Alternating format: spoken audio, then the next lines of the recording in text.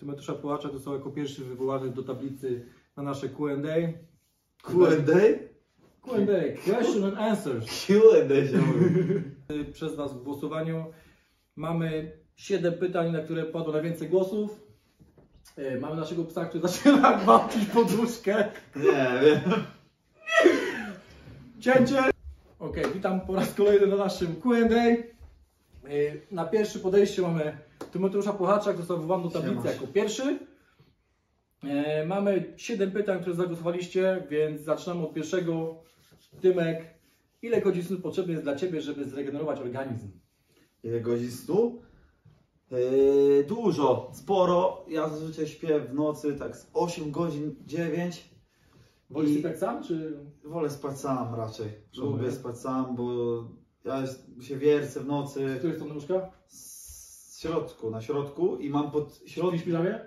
Nie, nago, na Szaman. waleta. Środek i mam dwie takie poduszki pod łokcie i tak śpię na środku. 8 godzin 9. No i po południu, po treningu jednym między drugim albo trzecim śpię jakoś sobie e, w kan- na kanapie w salonie. Czy takie... Taka pół, pół godziny najlepiej, bo jak potem dłużej to już jest sklejenie. Ale lubię spać, dużo śpię, bo, bo uważam, że to jest potrzebne. Lepiej się po tym czuję. Dobrze, jedziemy z drugim pytaniem. Jak radzisz sobie z presją? Czy w ogóle jest to No- presja? no właśnie. Czy w ogóle jest takie słowo w I Twoim, to jest. po- w To, twoim słowniczku? nie ma chyba. Słuchamy. Nie ma. Presję to. Presję to może mieć, tak kiedyś ktoś powiedział, to jest dosyć mądre, nie do końca, ale presję to można mieć, e, to ma górnik w kopalni, nie? Co schodzą pod, pod ziemię i muszą, muszą sobie radzić, a, a ja robię to co kocham, gram sobie w piłkę i jak wychodzę na mecz, to często mam tak, że mam zajawę z tego, że wychodzę i sobie gram, więc, więc jakby nie mam czegoś takiego, że się stresuję meczem, czy, czy ten, po prostu wychodzę tak jakbym grał e, na, na podwórku dosłownie, nie? Na Orliku stary, no wychodzę i, i, i gram, nie? Czyli jaką masz radę dla, dla naszych?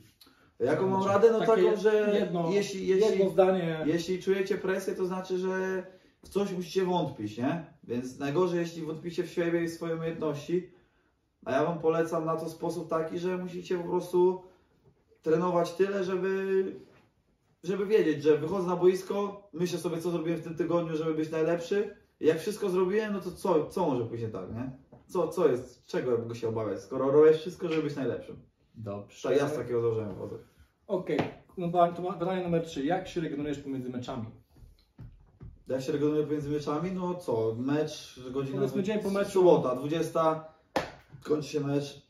Yy, mm, jedzenie, jakieś yy, dużo, dużo białka, dużo węglowodanów, yy, żeby, żeby to miało z czego organizm odbudować. Wiemy też, że to nie wiemy wszyscy, że Tymek nie jada mięsa. Od Tak. kiedy?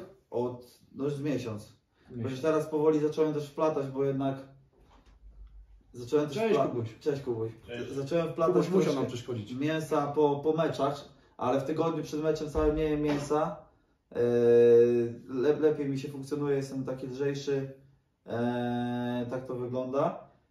Więc po meczu sobie pozwolę na mięso, zdarza mi się teraz, ale, ale bez mięsa też, też mi się to fajnie czuję. Jakby mięśnie miał bardzo, bardziej dotlenione, lepszy, lepszy ten przepływ jest e, tlenu do... Skąd tak pomysł? Ale jedzenie mięsa? Ktoś tego podsunął? Wiesz co, no wtedy co wyszedł ten, ten e, A, Game Changer. Game Changer, Polecam nie? obejrzeć. Polecam, Game Changer i tak. What the Health. Też jest bardzo fan na Netflixie. Robimy tutaj tę promkę Netflixa. Game Changer, no. Dobrze. Stąd, ale czekaj, bo jeszcze, aha, jak się regeneruje, no dzień po meczu robimy z Piotrkiem nogi od razu rano, zazwyczaj, najczęściej.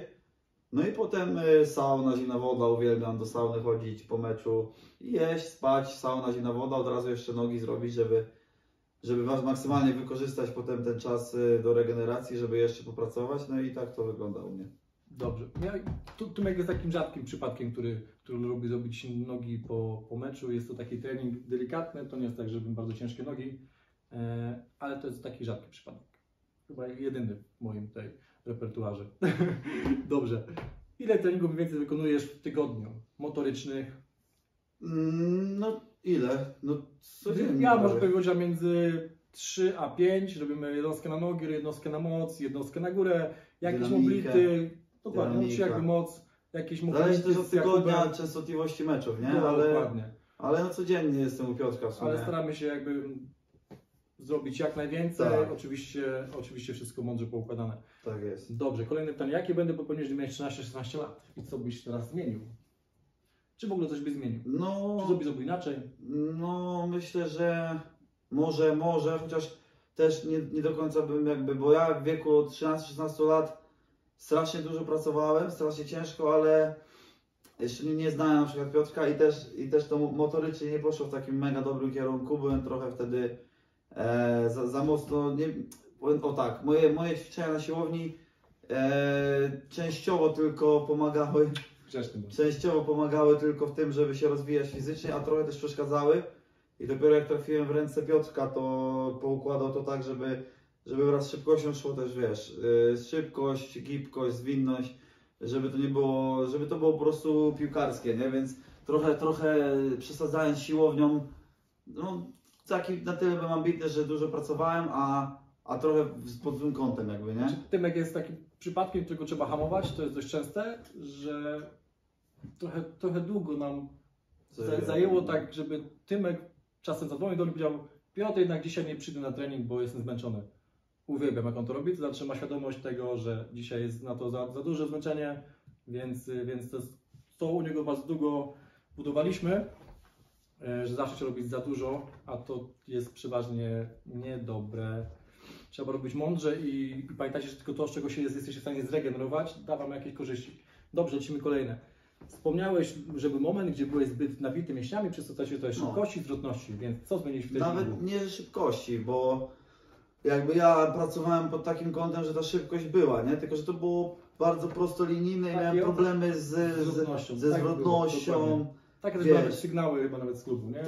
Że problemy ze zwrotnością gdzieś tam, e, bo to Taka z, dynam, pozycja z dynamiką, tak, dynamiką, zamknięte. problemy z dynamiką, bo po, po prostej powiedz to było dobre wszystko, nie? Ale problemy były z poruszaniem się takim właśnie piłkarskim stricte, więc e, jakie było pytanie? Były te szybkości, zwrotności, co zmienić co z tego? No, co zmieniłem? No zwróciliśmy uwagę, żeby mi plecy wyciągnąć do tyłu, bo ja miałem tę pozycję taką zamkniętą. Kontrakcyjną tak zwaną, nie? Czyli taki do środku, taki Ogólnie wyszczelony pocisk. smukłość, smukłość mojej sylwetki się zmieniła trochę, nie? Ja miałem trochę bardziej nabite nogi, teraz trochę bardziej smuklejsze.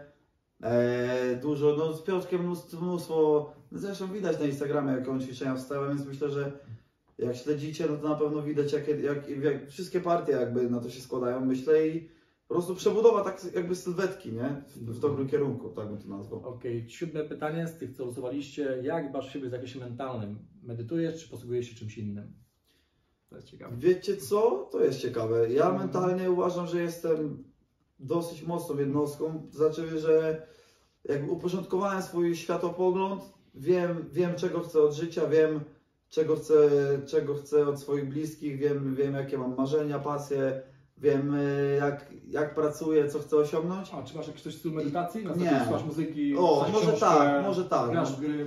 Może można, ma jakiś coś, tak, może no właśnie chciałem też, się, chciałem się też odnieść właśnie, że moją formą takiego takiego wzmacniania się mentalnego można powiedzieć to jest muzyka, nie? I tam jakby wartości w niej zawarte, myślę, że, że naprawdę mm, dużo i, zagranicznych i polskich artystów pewnie w szczególności, tak jak, tak jak Borys, y, BDOS czy, czy ogólnie SBM Label, Białas i tak dalej, Pozdrawiamy.